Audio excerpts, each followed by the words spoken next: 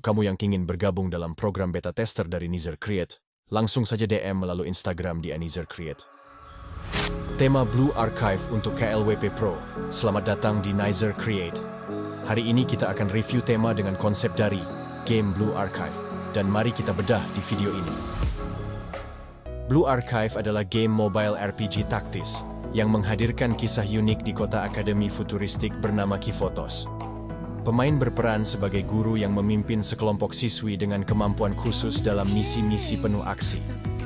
Dengan grafis anime yang menawan, gameplay strategi yang mendalam, dan jajaran karakter yang beragam, Blue Archive menawarkan pengalaman bermain yang memadukan unsur slice of life sekolah dengan pertempuran seru menggunakan senjata canggih. Game ini terkenal karena desain karakternya yang menarik dan cerita yang memadukan humor, drama, dan misteri.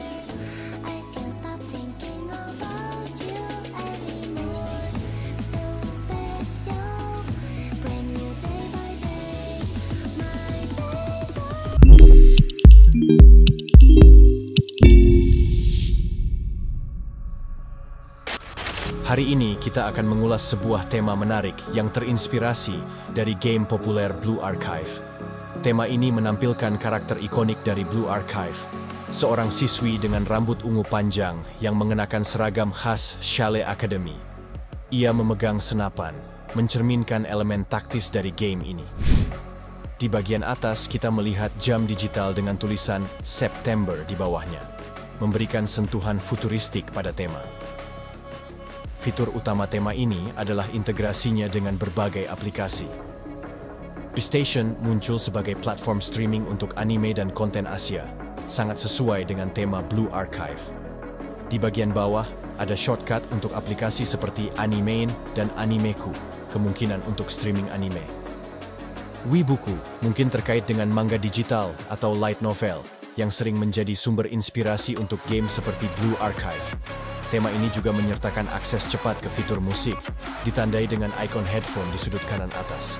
Yang menarik, desain UI mengadopsi estetika futuristik Blue Archive dengan elemen-elemen HUD yang mirip dengan tampilan dalam game. Ini memberikan nuansa seolah-olah ponsel Anda adalah perangkat dari dunia Blue Archive. Secara keseluruhan, tema KLWP Blue Archive ini menawarkan pengalaman imersif bagi para penggemar game. Ini bukan hanya sekadar wallpaper, tapi juga menghadirkan fungsionalitas yang terintegrasi dengan baik dalam gaya visual yang khas Blue Archive. Salah satu fitur paling menarik dari tema KLWP Blue Archive ini adalah interaksi dinamis antara karakter dan status baterai ponsel Anda. Ketika level baterai berkurang, ekspresi karakter akan berubah, menciptakan pengalaman yang hidup dan interaktif. Bayangkan karakter Blue Archive ini merespon kondisi ponsel Anda, saat baterai penuh, dia mungkin terlihat bersemangat dan siap beraksi.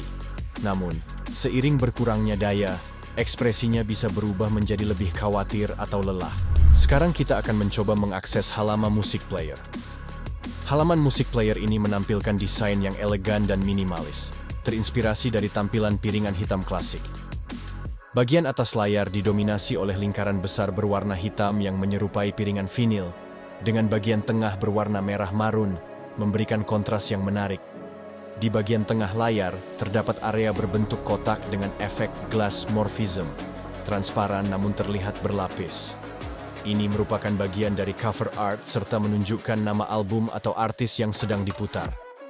Kontrol pemutaran musik terletak di bagian bawah layar. Terdapat tiga tombol standar, previous, play, pause, dan next, bersama dengan bar yang menunjukkan progres lagu. Di bawahnya, ada tulisan playlist yang jelas terlihat. Daftar playlist ditampilkan dalam bentuk ikon not balok, menunjukkan jumlah lagu dalam playlist tersebut. Desain ini menjaga tampilan tetap bersih namun informatif. Di pojok kanan bawah, terdapat tombol home yang memungkinkan pengguna untuk kembali ke layar utama dengan mudah. Keseluruhan desain halaman musik player ini memadukan elemen retro vinyl dengan sentuhan futuristik, menciptakan tampilan yang unik dan sesuai dengan estetika Blue Archive. Transisi dari layar utama ke halaman musik menunjukkan integrasi yang mulus dalam tema KLWP ini, memberikan pengalaman pengguna yang kohesif dan menarik. Di halaman awal, Anda bisa sweep layar ke arah kiri untuk masuk ke menu pemilihan karakter. Di hadapan Anda, terpampang karakter Yuka yang mencolok.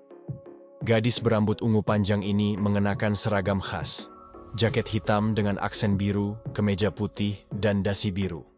Yang menarik, Yuka memegang senjata api, mencerminkan unsur aksi dalam permainan ini. Di bawah gambar Yuka, Anda akan melihat deretan ikon karakter lainnya. Setiap karakter memiliki gaya dan kemampuan uniknya masing-masing. Perhatikan bagian open media di tengah layar. Fitur ini membuka akses ke berbagai jenis konten, seperti video, gambar, serta aplikasi media lainnya. Bagian bawah layar menampilkan sistem monitor yang informatif. Di sini Anda bisa memantau kinerja perangkat, meliputi penggunaan CPU, kapasitas RAM, ruang penyimpanan yang tersedia, serta level baterai saat ini. Yang menarik, di bagian bawah menampilkan peta dunia. Namun, ini bukan peta dalam game, melainkan menunjukkan lokasi Anda di dunia nyata saat ini. Sebuah sentuhan unik yang menghubungkan pengalaman bermain game dengan realitas. Selanjutnya, kita akan berfokus di bagian tengah layar dengan menu Open Media, yang sudah kita singgung sebelumnya, yang di mana itu adalah pintu untuk mengakses halaman media. Di bagian atas layar, Anda akan melihat animasi video menawan yang menampilkan karakter pilihan Anda. Saat ini, terlihat gadis berambut ungu dengan ekspresi tenang namun penuh determinasi. Animasi ini memberikan nuansa hidup pada karakter favorit Anda. Di bawahnya, terdapat deretan ikon aplikasi populer seperti Zombie Tsunami, Pocket Worlds, Hago, dan Clash of Clans. Anda bisa menggeser ke kiri atau kanan untuk melihat lebih banyak aplikasi. Perhatikan menu Close Media di tengah layar. Ini bukan sekadar tombol, ini adalah pintu keluar Anda dari layar ini, membawa Anda kembali ke menu utama dengan sekali sentuh.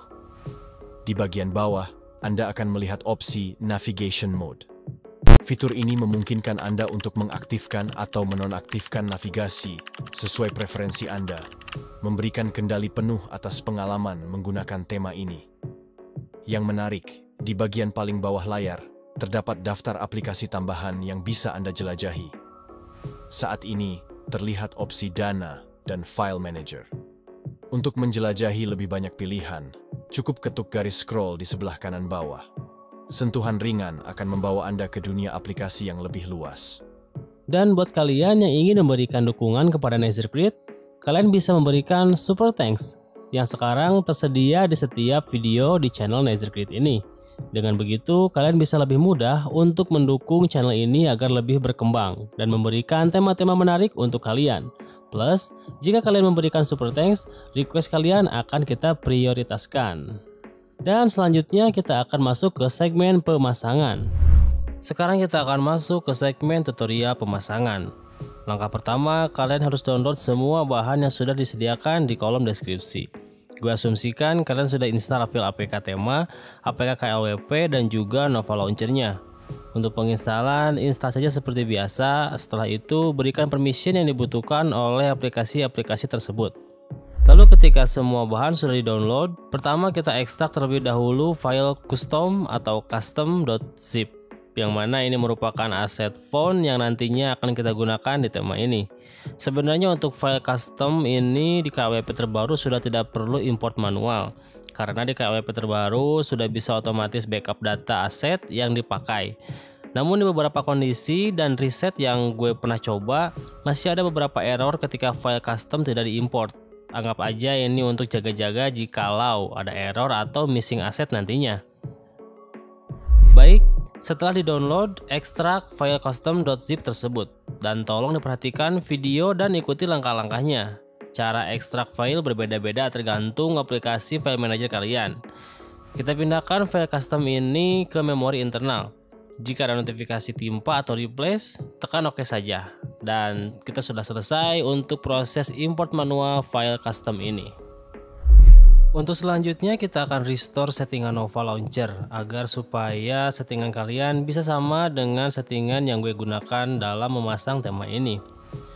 Pertama tap lama di layar home screen sampai muncul tampilan settingan seperti ini. Setelah itu, kalian pilih pengaturan atau icon gear untuk masuk ke dalam menu opsi Nova. Kedua, kalian cari menu cadangan dan pemulihan. Setelah itu, pilih pulihkan cadangan. Arahkan ke direktori atau lokasi kamu menyimpan backup yang sudah di-download tadi. Setelah itu, oke. Okay. Dan settingan Nova kini sudah berhasil di restore. Banyak yang bertanya kenapa untuk iconnya nggak berfungsi atau nggak bisa di tap. Di sini gue mau jelasin untuk fixing touch. Jadi nggak semua icon yang kalian pakai itu gue punya. Ada beberapa yang berbeda dan bahkan gue nggak pakai. Sengaja gue kosongin actionnya agar kalian bisa sesuka hati merubah action dari icon-icon yang ada. Kita ambil contoh di tema ini. Gue mau merubah icon B Station menjadi Bing. Caranya kalian buka KLPP, cari objek icon yang ingin kalian rubah. Dalam kasus ini gue udah misahin sebuah objek untuk dijadikan action button karena ada suatu hal. Namun sepertinya ke depannya gue juga akan melakukan hal yang sama untuk tema-tema Niger selanjutnya. Setelah itu pilih objek tersebut. Lalu pergi ke bagian tab sentuh, tambahkan actionnya, tab opsinya, tab lagi, pilih luncurkan aplikasi. Kemudian tap lagi di menu app. Setelah itu kalian pilih aplikasi yang kalian mau. Di sini kita akan memberikan perintah action agar ketika di tap icon akan membuka aplikasi Bing. Setelah itu kalian save dan bisa kalian lihat hasilnya ketika kita tap icon B Station maka yang terbuka adalah aplikasi Bing. Dan itulah tadi review tema kali ini. Jika ada pertanyaan, silahkan tinggalkan komentar di bawah dan buat kamu yang mau order dan juga custom tema dengan konsep kamu sendiri, kamu bisa DM ke Instagram di @nezercreate. Dan gue nggak lupa juga ngabarin buat tema-tema gratis, password selalu ada di video. Mungkin itu aja buat tema kali ini. Gue Nezer, see you next time.